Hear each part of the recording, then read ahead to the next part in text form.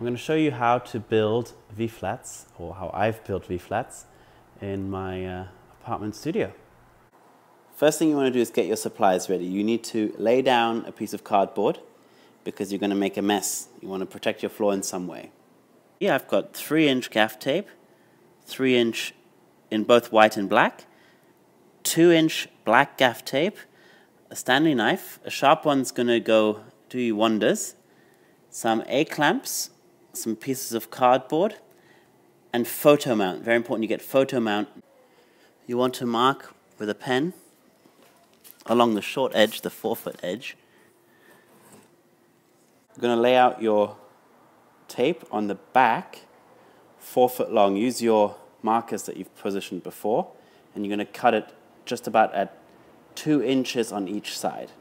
So about four foot two inches long. Once you've got your four foot piece, you're going to spray photo mount all the way along the top of it. There you go. Then your friend is going to position the V-flat visually along the middle, the center of the strip of tape on one edge first, and then you're going to come on the other side and cantilever it carefully down visually there we go. Now, there's tape kind of about three quarters of an inch on this side, three quarters of an inch on this side. Then you want to cut about three quarters of an inch from this edge of the V-flat. Just a straight line, hold it tight and cut across. And then you take the knife and diagonally cut to this corner and to this corner so that like a Christmas present you can put the black wrap it around here. And this bit goes around there. And the same here. You fold the edges over. We'll show you that again. There we go. You see we haven't got the edges exactly correct in terms of how wide they are but it doesn't matter. Cut diagonal there. Diagonal there. Take this bit. Fold it up. Fold that in. The same on both sides you get a really nice, neat edge. Then you want to take the strip of tape as it's lying down and just pull it up in about five inch increments. Just grab it and pull it up against the bottom of the V flat all the way along and then just kind of pull it up.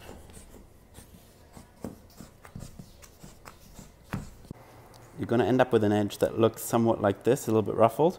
You're going to wipe your thumb against this edge first, and then move that tape and smooth it out all the way along the edge of the V-flat. Do this all the way down. It's a bit finicky, but have some patience.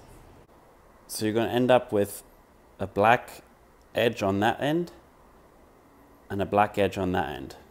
Then go ahead and lay out eight foot strips of black two inch gaff on their back and go ahead and spray them with photo mount all the way along. Now you'll have two V flats with the edges, the short edges on both the four foot edges finished with tape. And you're gonna see, you need to put them so that two black sides are touching each other close together because you'll wanna put the black gaff tape only along one edge of each of these V-flats. In this case, we're going to tape the bottom of both of these. So Matt, show again the second V-flat behind. There you go. So the black sides are touching each other and we're going to do the bottoms here of both of these, the long edge. Same idea. We're going to match visually halfway along the tape. Matt's going to place it down and we're going to lever it all onto here. And again, the same cut here and in a triangle shape here.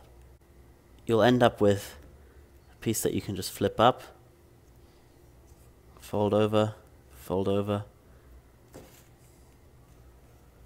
fold up, fold across, and the same thing on the other side.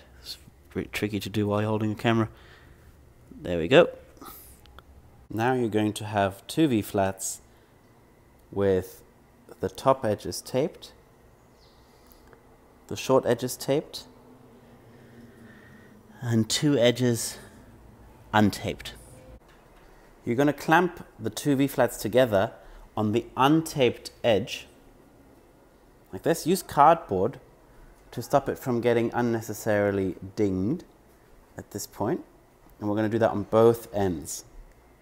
Now you're going to lay out your 8 foot 3 inch white, this is the first time we're using white, gaff tape, and then spray it the same as we did with the other. Then you're going to tape the two blacks together so that the whites are on the outside, like so, on both sides. And then I'm going to place it visually down on one corner, in the middle of the three inch white gaff, and do that along the whole length of it. You're going to take off, go ahead and take off your padding. This is a bit of a mess, but don't worry about it. We're going to give it a little bit more room to about here. You want to have about an inch and a quarter. Cut a straight line. And again, those diagonal cuts, they don't have to be so pretty. Bring that middle bit up. And you're going to cut that through the middle like that, otherwise you won't be able to open your V-flat. And again, fold it around. And we're going to tidy this up later with black tape because that against the black doesn't look so good. And again, you're going to fold up those wings, bring them across, both sides. You can make this neater, but I just cut down the middle there so that it opens. Then you're going to struggle to turn it around.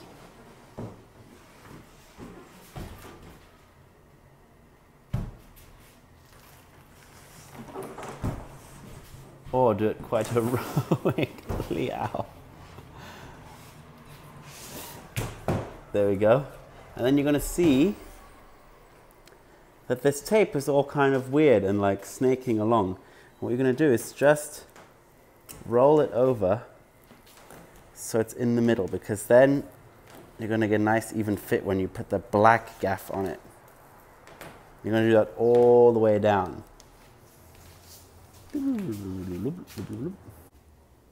You'll want to repeat the whole process now with the 3 inch black gaff. And with the black side outside on both sides and the white tape together, you're going to place it as before visually in the center of the tape. And there she is. Story time. Beautiful V flat with the black edges on the white side. Gives it a little bit of a design feel. And look how beautiful Matt looks in there. Oh yes.